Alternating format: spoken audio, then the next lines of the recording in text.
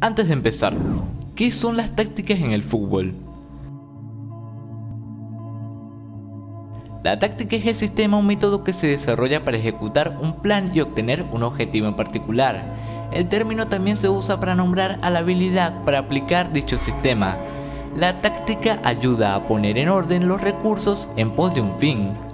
De esta forma se reduce el margen de error ya que se minimizan las acciones espontáneas o impensadas y se puede poner en práctica aquello que ya se practicó y entrenó. Cabe mencionar que el concepto nació en el ámbito militar. En este sentido, la táctica militar es el plan que supone la puesta en marcha de lo establecido por la estrategia.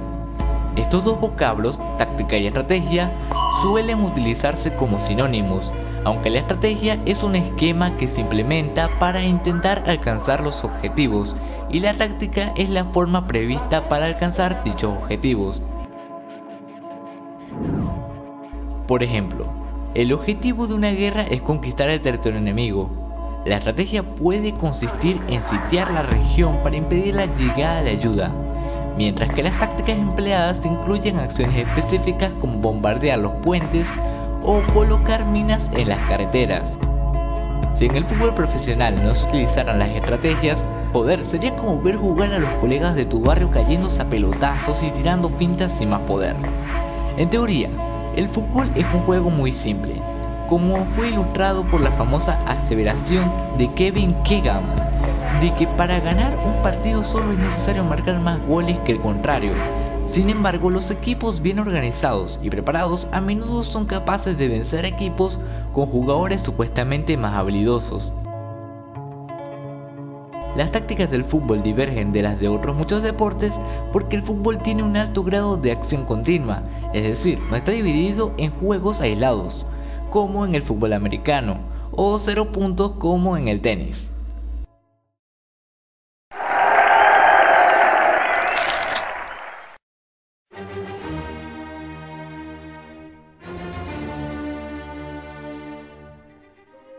Ahora vamos a repasar un poco el juego táctico que la Vinotinto ha aplicado en los últimos años. Voy a iniciar con Richard Page y su esquema táctico. Para esto utilizaré como mayor referencia el sistema que este aplicó en la Copa América del 2004.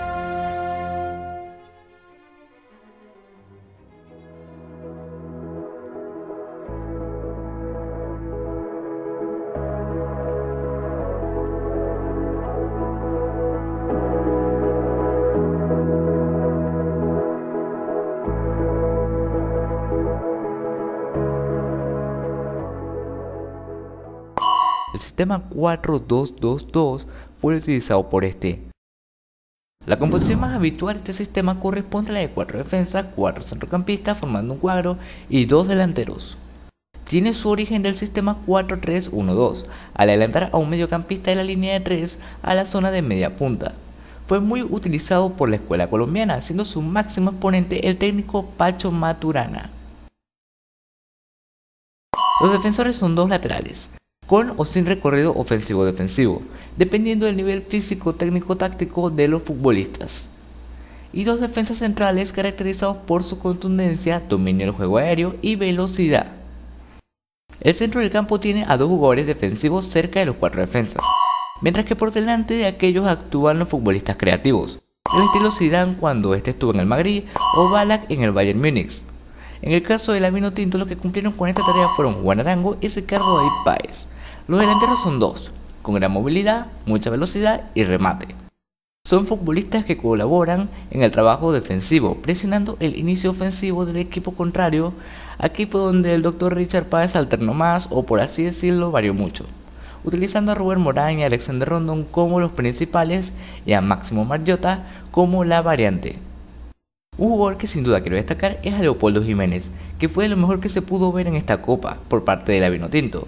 Este prácticamente jugó el libero, se movía por toda la cancha, recuperaba, defendía, le daba mucha salida a la Tinto y lideraba el contraataque entre otras cosas.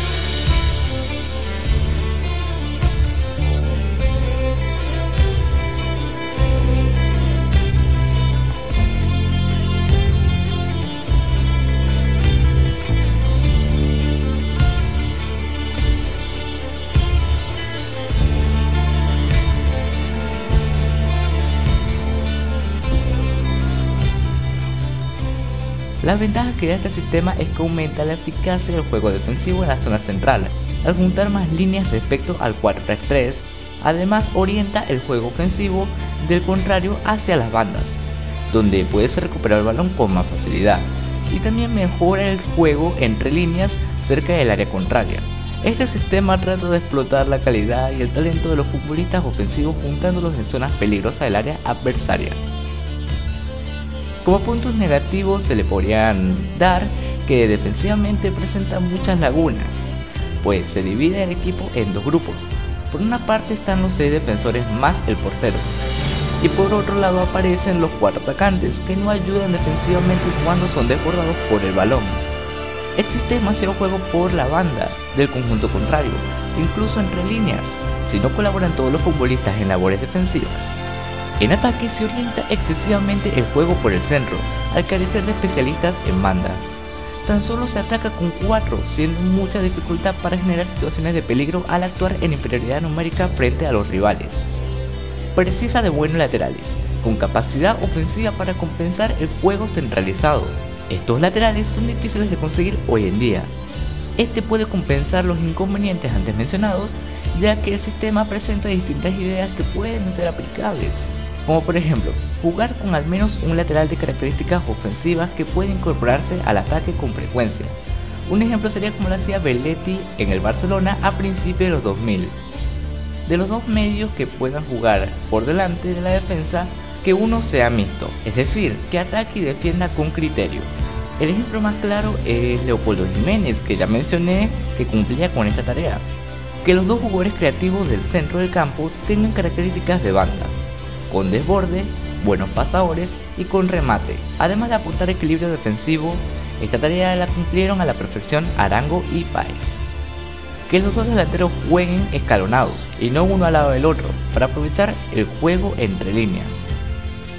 A pesar de que la Vinotinto no pasó la fase de grupos, en esta Copa América su juego, según mi punto de vista, fue bien ejecutado y preciso, mostrando a la perfección lo que Richard Páez quería plantear.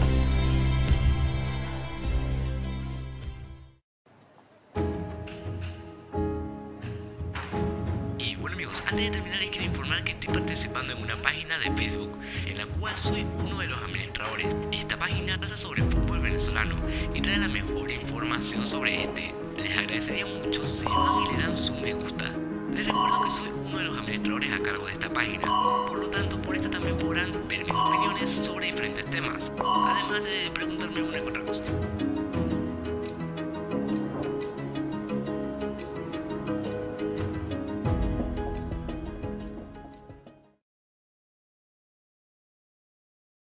Bueno, eso ha sido todo, espero que les haya gustado. Esta se podría considerar la primera parte, ya que pronto sacaré una continuación donde hablaré de qué vino después de Richard Páez. Espero que les haya parecido interesante y entretenido. Si fue así no olviden dejar su me gusta, que eso me ayudaría muchísimo. Sin más que decir, yo me despido y hasta la próxima.